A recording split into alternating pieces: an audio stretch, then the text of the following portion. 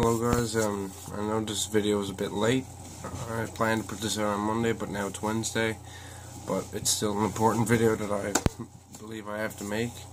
Um, I just want to discuss what has happened in this world, uh, in, especially in in the metal, you know, world, the metal universe, as you would say, in the past uh, week or two. So uh, let me just get right down to business. And for the Paris attacks, I'm just gonna play some Trust because French metal is fucking awesome and it's sung in French. So there you go. So yeah, we're talking about the Paris attacks. I was I was working. Um, I do uh, Boys and Girls Club uh, in my area, so I was out to Boys and Girls Club uh, with my girlfriend and stuff, and we were having a fun time playing around with the kids, you know, looking after shit. So that's fun, dandy. And in the middle of nowhere, she comes over and tells me, uh, apparently there was an attack in France, and she said it was at a, at a metal festival at first, I think. And that's, I think that's what the media, I can't remember what was being said, but uh, at first I heard it as it was at a metal festival. I immediately thought Hellfest, and I'm like, great, fucking Hellfest getting attacked now. Uh, there's going to be a lot of changes to festival uh, rules and stuff. But you know, nobody wants that. Nobody wants to see a festival uh, have huge security where you have to have bags searched all the time and shit like that. So I was like, great. But then I realized um, when we got back to the house, I checked the, uh, checked um, the news uh, articles about it, and it was Eagles of Death Metal. Now, Eagles of Death Metal are a band that I've known for a, a good while, ever since I've known uh, Queens of the Stone Age and shit like that. And Eagles of Death Metal are a great band. Uh, the guys in the band, like Jesse Hughes, I know he he is a really cool guy. I've seen uh, work of his, like in he's done documentary or two, and he's just a really awesome guy. And Josh Homme, obviously, or Homme, whatever people, whatever whatever way you pronounce his last name, he's just an awesome guy as well. He's a he's a really good musician and stuff. So yeah, to see a band like that being tied up and it was really shit. And then to realize it wasn't just at the Bataclan that these attacks were um, taken out. It was more. It was all over uh, Paris. So just to see that is fucking insane. And uh, I posted ADX, um, the French speed metal band. I posted uh, two of their demos on here because I said, well, I, I always have full albums, a full a file of full albums that I can upload at any time. And they were the French band. That I think they were the only French band there. So I said, fucking, I'm uploading French metal uh, because France, you know, I think France should be getting a lot of attention. But same thing with all these other countries, uh, Lebanon, and I can't even remember the name, all these places that have had uh, tragedy, Mexico and stuff like that. So I think every place in the world should be getting attention. I, I didn't change my profile on Facebook to the French flag because I just thought like if I could change change uh, the profile to just like you know send your thoughts out to everyone in this world who's had tragic shit happen to them and had family members die so yeah, with the, Paris attacks, to see, um, you know, the merch manager, uh, Nick, Nick Alexander, um, uh, he was Eagles of Death Metal merch manager, but he's also, uh, from what I've seen, he was friends with a lot of people in the music industry. He had worked for a lot of famous bands, Alice in Chains, uh, I believe the, uh, one of the members of Black Keys that spoke about him and stuff. And just to see like that somebody that close to the band actually died is just insane.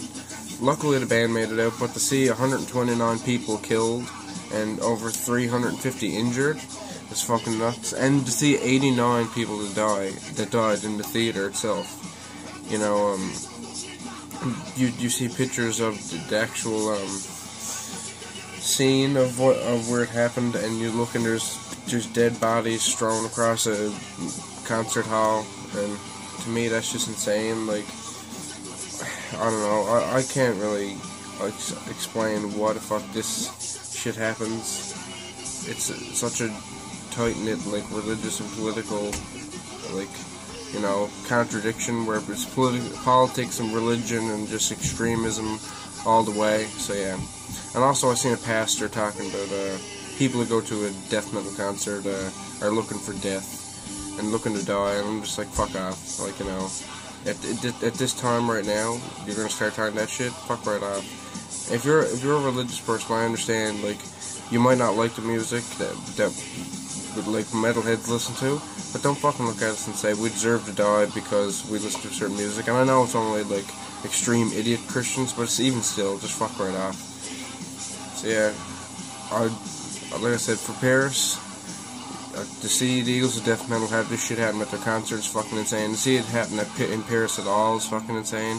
So I just hope that Paris gets back to normal and hopefully the world can realize a way to deal with these fucking terrorists.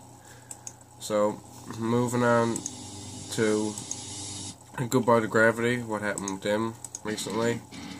Now, Goodbye to Gravity are a band that I'm not a really big fan of. Like, I have one of their songs playing in the background. Like, I'm not really a big fan of their style. But, um, they had a new album out called uh, Mantras, of, or Mantras of War, and they had a release party for that on October 30th.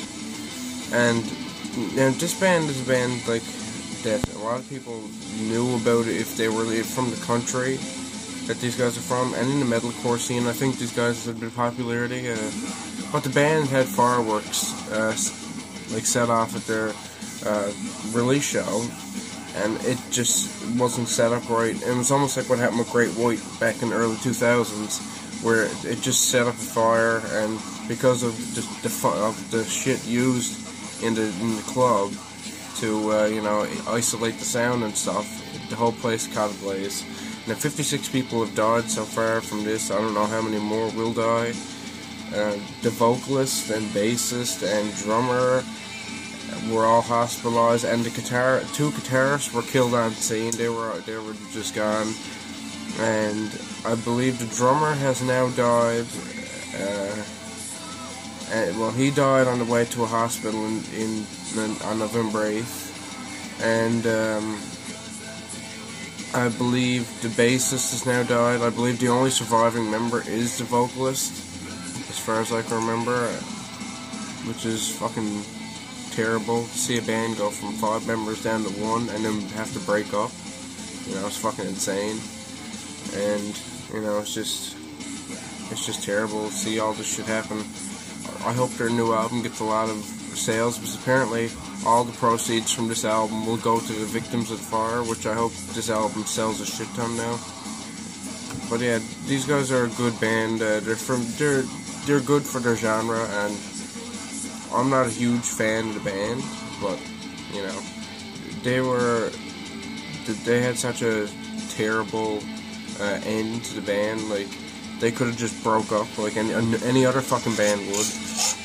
But no. Well, then you look at uh, the incident last year where, where um, or was it, I don't know how long ago this was, but it was the, the accident where um, the two bands were in a van accident, and I believe nine members of, the, of each band, like nine members died, or nine people in general. I'm just like, fuck, like this, people dying in big groups like this is getting is getting really bad to the point where I'm just like, you know. It, weird weird to is too nowadays. There's so many bands on the go. It's not even like the 70s and stuff. In the 80s, where if you had a band, you weren't touring all around like a country.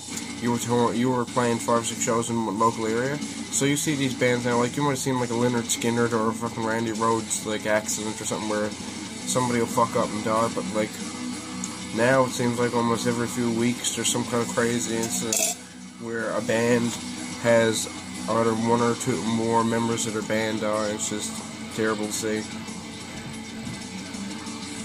I put my I'm sending my thoughts out to those guys out from Goodbye to Gravity, the lead singer who is still alive. Hopefully he survives this and he gets out of hospital fine, if he's not already out.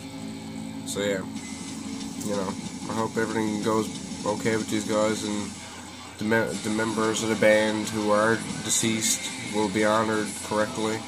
And I hope that the, the rest of the people who died, that they get peace. Because this is just terrible incident. It's just sad to see all this shit go down to a band that is in the metal scene. Even though people don't call metalcore metal, come on, like you gotta give these guys a bit of like sympathy at, at least in this time. So. So yeah, I, that's all I gotta say. Like I've I've watched this happen. I, I watched it go from two members one day to three members, and thinking that's fucking insane. And now four members out of a five-member band. It's just terrible. And now they're broken up. Uh, obviously, they would break up, but you know, but it's kind of obvious they'd break up because I knew they were breaking up anyways. When they when I was like pretty sure they were going to break up when they lost the two guitarists. But yeah, I hope that this doesn't happen again and regulations come in where they can't use this stupid fucking foam they use in these goddamn venues and they can't use fireworks in these venues. So yeah. So yeah, this is the part about Philthy Animal Taylor, one of my favorite drummers of all time. Now, obviously Philthy was in the band for a long time. He was on the On Parole album, the Motorhead album, the Overkill album, the Bomber album, Ace of Spades, No Sleep Till Hammersmith, Iron Fist, Another Perfect Day, Rock and Roll 1916, and Die. So almost all the classic material from uh, the 80s he played drum and the 70s he played drums on. And the two and two classic albums from the 90s. And just to see him be gone at this age is just like fucking insane. And like looking at it, uh, just looking at it is what he's done besides Motorhead. It's just really strange to see. He he never done much after he left Motorhead. He didn't do anything, and he even said like, "Why? Like I, I just don't do anything. I never. Nobody asked me to, to be in anything, and I just don't want to be out I, I guess I think he wanted to be in a band, I guess, but I guess he just never had uh, the opportunities. I guess so. It's just really uh, uh, like it's just really terrible to see that that's how he like left this world, not having anybody play to play gigs or anything. So yeah, and then Wurzel died. Wurzel, their guitarist for years, died uh, in 2011. So that's tragic as well. But apparently Phil died of liver failure, as a lot of like you know musicians do. But you know, Phil was always always a funny guy, and I, I watched the interview that he done with Sam Dunder the day that uh, Phil died, I was watching it, and I'm like, this is a fucking hilarious interview. Like I was, I was like cackling my ass off at it. And then at the end of the video, it said "Rest in Peace, Phil Taylor," and I was like, "The fuck are you talking about?" I said, "There's no way." So I went on the Metal Archives. That's usually where I go. I was just really quick to do with the Argo Metal Archives Rest in Peace uh, section, and sure enough, there's Phil Taylor uh, on top of the list. And I'm like, holy fuck! Just to think that one of my favorite drummers of all time, one of my biggest influences in drumming, is dead. It was just really just a shitty thing. And then to have the Paris attacks happen the 13th, and uh, Goodbye to Gravity uh, incident happened on October 30th. So, yeah, in the past three weeks, we've had some of the worst tragedies I think I've ever seen in um, in, in like metal. Like I don't even know We've had two tragedies happen in the rock and metal world, and then we've had just another sad event with Phil Taylor dying. And you know, only thing I can see is like we had events like the Great White thing that happened back in 2003, which was just tragic and shit because that was the same kind of that's a similar thing that happened to um, that happened to uh, Goodbye to Gravity recently. Like that's what uh, happened to them. They had a big fire and that's how that happened. They, they were setting off uh, fireworks or whatever, and the pyrotechnics just fucked up and created a giant goddamn like it was foam, the exact same foam. The, the foam is always what sets the these these things alight.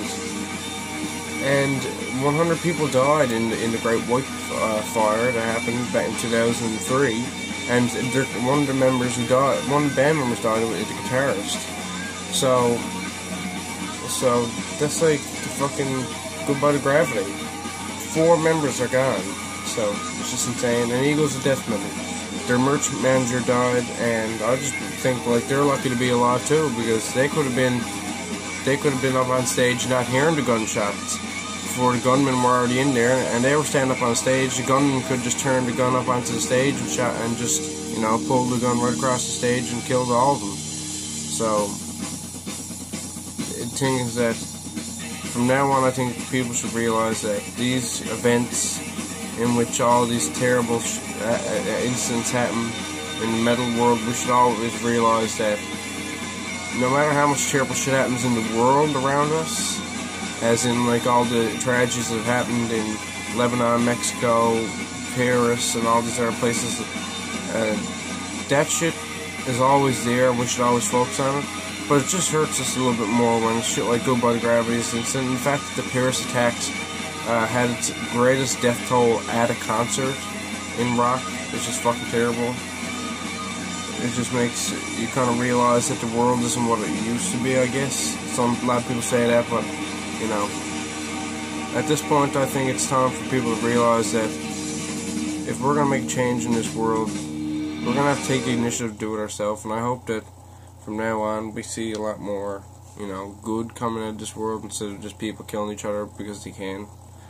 So yeah, that's all I gotta say. I'm not gonna monetize this video because I'm not gonna fucking profit off of. Well, I don't profit off of YouTube anyways, but I'm not gonna profit off some goddamn terrible events that you know should have never happened, and hopefully don't stuff like this will never happen again. So yeah, peace the fuck out, guys, and uh, try to keep your heads up.